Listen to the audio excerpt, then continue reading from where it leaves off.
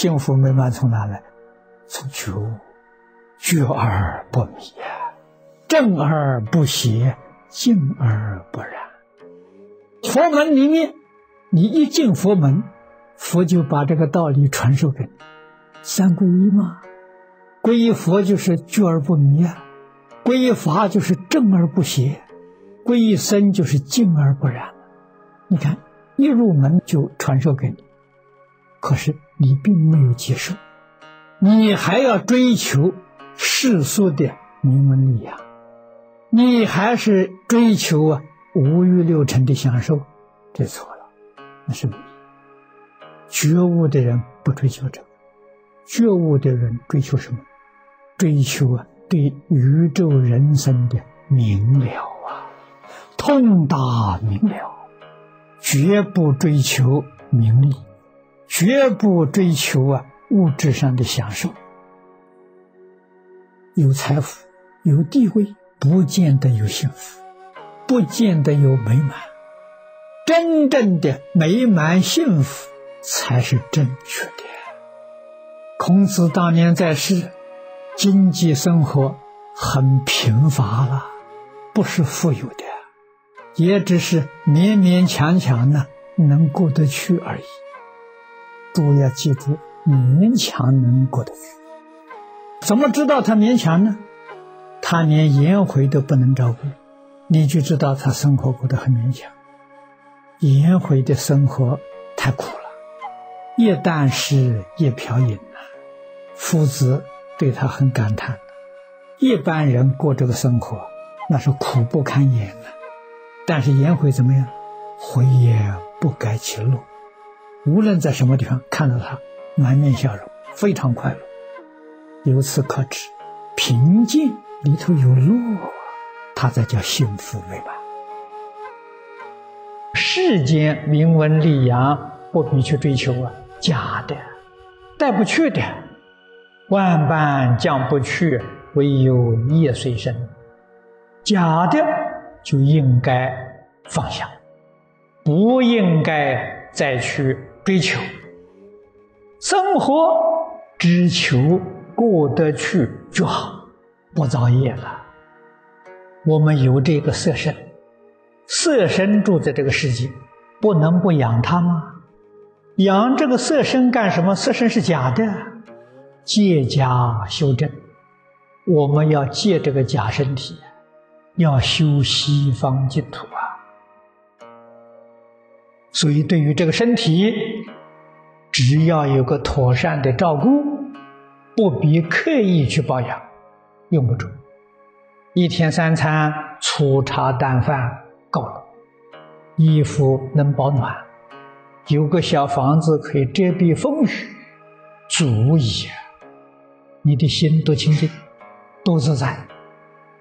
如果要追求物质享受，那你就带来痛苦。纵然自己有福报，我们的福报给一切众生去享，好啊，这是修集大福报啊，没有比这个福报更大的了。佛也不是叫你一定过很苦的生活，不是。佛并不赞成无疑的苦行，这个在《大乘经》上，诸位常常可以看到。对于自他没有利益的苦行，佛不赞成啊。佛教我们怎么做？随缘，这样就自在呀。夫子教人呢，亦复如是。所谓是，树富贵，你就安于富贵。你命好吗？前生修福多吗？你应该安分守己，做一个富贵人。你贫贱，素平静，安于平静，只要能安心过日子，不攀缘，不希求。所以人呢，重要的是要过得很本分，决定不攀缘，你在物质生活里面就得自在了。你看，现在科学发达，才不四百多年，不到五百年，弊病就出来了。我们是得到科学一点方便，但是付出的代价太深了，太重了。科学能叫全世界的人心不安，带着恐惧，这在中国历史上以前没有过的。以前天下太平，不管什么样身份，贫富贵贱，心安理得，所以他有美好的一生呢，幸福，幸福美满了。尤其是读书人，读书人贫贱，他并不羡慕富贵。也不刻意啊去追求物质上的享受，他心是定的，过得很舒服、很快乐，这是智慧。中国教育能教成真正修道的人，佛在一切经里头啊，常常提醒我们，常常啊教导我们，要念苦空无常。常常念苦空无常，观察这个世间呢，苦空无常，对于这些享受的心呢，才能够淡化，才能够啊把它止住，这个样决心呢才能够生得起来。那么菩提心的反面就是迷，菩提心就是觉，所以就是觉于迷。这是修学的基础，决定不能够迷失了自己。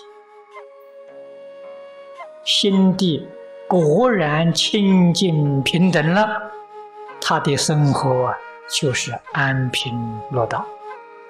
安贫是我们反复的概念，在他有没有呢？他这个观念都没有了，所以他才落道啊。落道是真的，安贫他没有这个观念，为什么呢？人家贫富一如，不要说在世间，在十法界里面，他天堂跟地狱啊也平等，苦乐两边都不受，他还有什么贫与富呢？没有了，所以乐道是真的，道就是自信了，这是真路。孔夫子的学生颜回，一旦是一瓢饮，那个生活苦到那种程度，他每天笑呵呵的，非常快乐，不改其乐。他乐的什么？乐的道啊，乐的对宇宙人生通达明了，没有恶念，没有恶言，没有恶行，你说多快乐？眼前人家以为苦，吃的这么简单。自得其乐，这里头真乐。你没有入这个境界，你得不到；入境界，你就尝到这个乐趣。我们发心皈依，发心求受无戒，你的心要真诚，他才有感应。皈是什么意思？归是回头啊，回归呀，亦是依靠啊。我从前。